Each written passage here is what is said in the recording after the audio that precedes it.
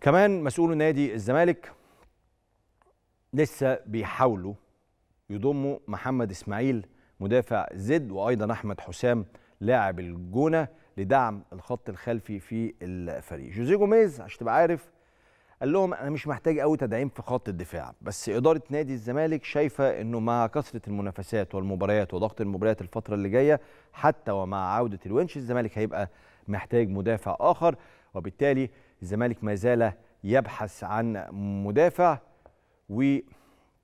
ومفاوضات كبيرة جدا لضم محمد إسماعيل أو أحمد حسام أو الاثنين.